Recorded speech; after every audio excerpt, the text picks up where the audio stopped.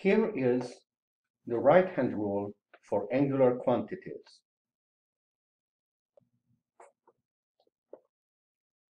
You extend your right hand, you curl your fingers along the perimeter of the angular motion and your right thumb perpendicular to this will give you the vector direction.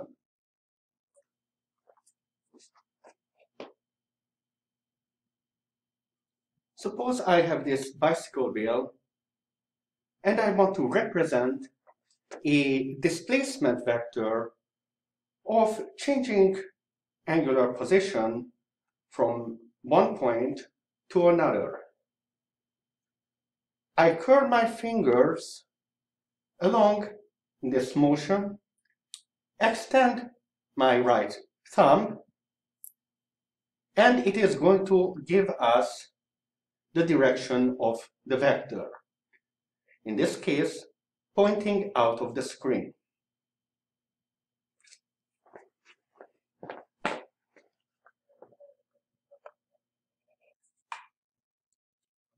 Symbolically, angular displacement is delta theta. Previously, we described its direction as clockwise or counterclockwise. But in the right-hand rule representation, we are going to be representing the direction of this vector out of the picture.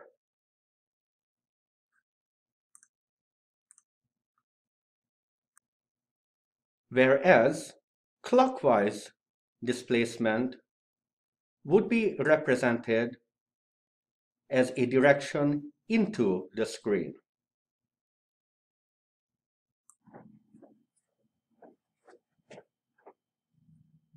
The representation of circle dot and circle cross can be remembered as an arrow. Is it flying towards you, in which case what you would see is just the dotted tip, or is it flying away from you? In which case, you would just see its fins leaving you.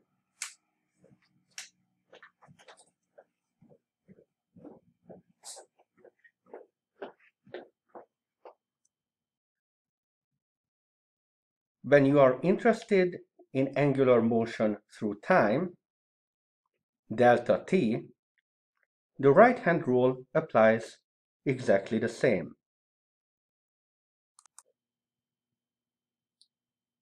Counterclockwise, curl your fingers, and your thumb will point towards the vector.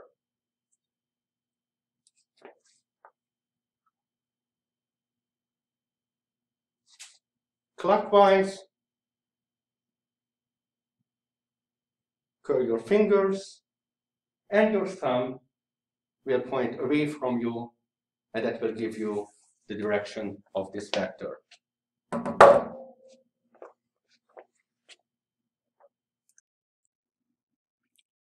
Finally, for angular acceleration, which is the rate of change of angular velocity over time, again, the right-hand rule is the same.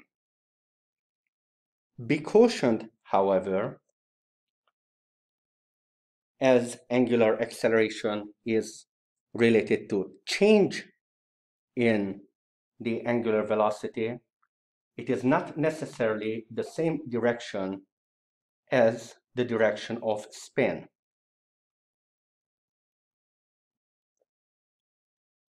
The right-hand rule becomes especially powerful once you have to represent angular quantities in more than just two directions.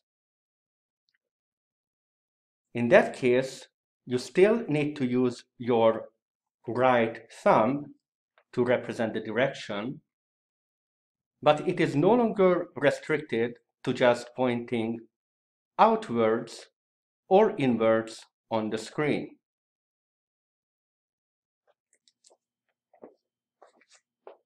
In this case, I'm going to be spinning the wheel counterclockwise as viewed from top. But from your view,